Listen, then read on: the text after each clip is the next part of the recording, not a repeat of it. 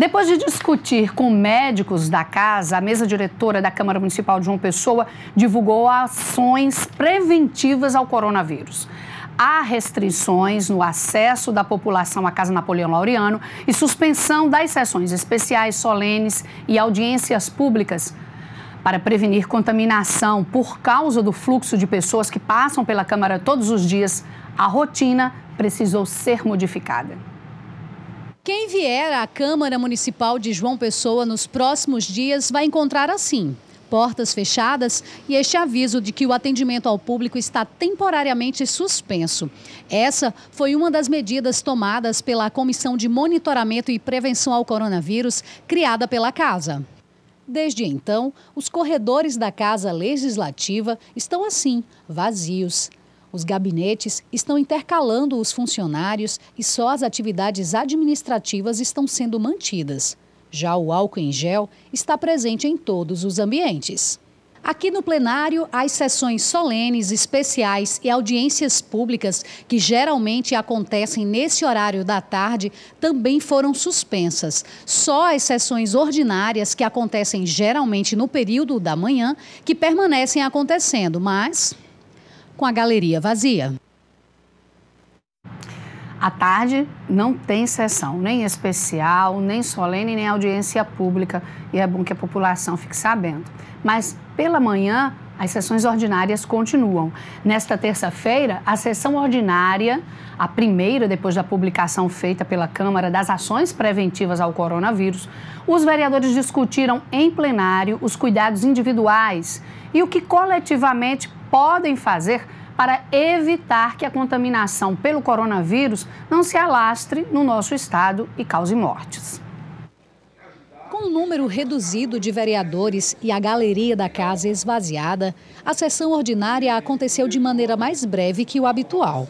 O clima no plenário era de preocupação devido à pandemia do Covid-19. É, a sessão ordinária é, aconteceu mas foi mais curta. A casa está preocupada com o coronavírus, adotou medidas de prevenção. João Pessoa e a Paraíba ainda não tem casos confirmados, mas a prevenção é bem melhor fazê-la do que depois remediar os casos que apareçam. É necessário evitar aglomerações. A Câmara suspende, em razão disso, audiências públicas, sessões especiais, sessões solenes.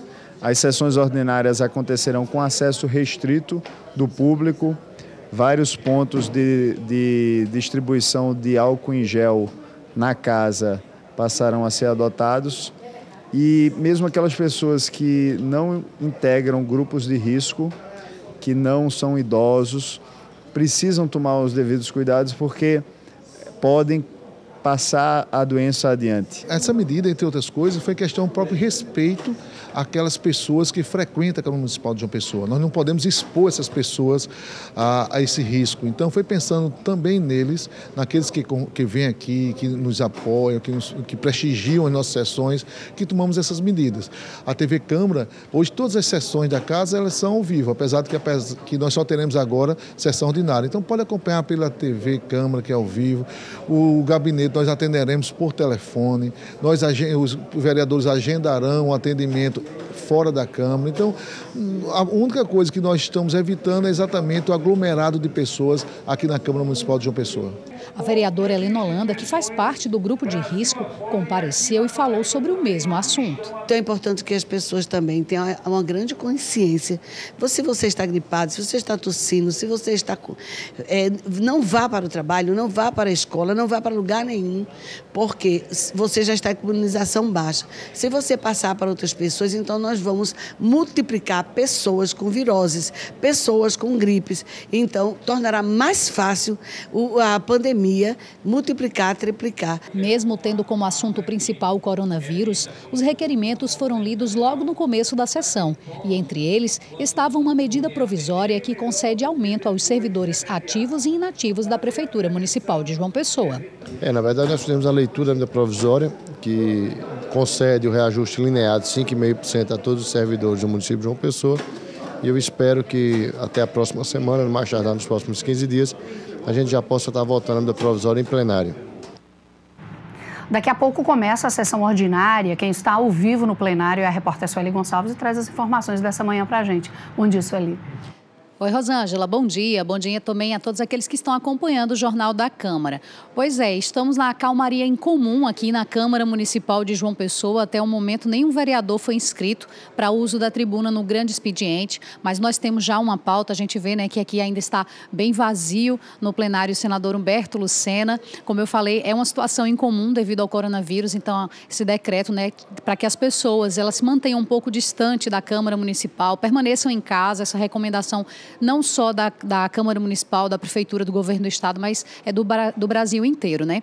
Então, falando da sessão ordinária, um total de 294 requerimentos estão previstos na pauta para o dia de hoje e não há pauta de votação. Até o momento não foi apresentado nenhum projeto para ser votado na manhã de hoje, apenas os requerimentos, como habitualmente acontece logo no começo da sessão ordinária. Então, a gente vai aguardar aí, né, para ver como é que será o andamento para a sessão no dia de hoje, a gente vê as galerias, apenas os seguranças, né, que estão aí para fazer é, esse acompanhamento na sessão de hoje. As pessoas que vierem né, procurar a Câmara Municipal de uma pessoa para acompanhar a sessão ordinária, é a que vierem não, melhor dizendo, a recomendação é que não venham à Câmara, mas que acompanhem aqui pelo nosso canal 39.2, também pelo YouTube que é TV Câmara JP. Então, é a maneira que o cidadão tem de acompanhar os trabalhos da casa e a gente ainda disponibiliza informações no portal, tá? No site da casa, que é o joaopessoa.pb.leg.br. Lá tem as informações do que foi discutido na manhã de hoje, para aqueles que não conseguirem acompanhar,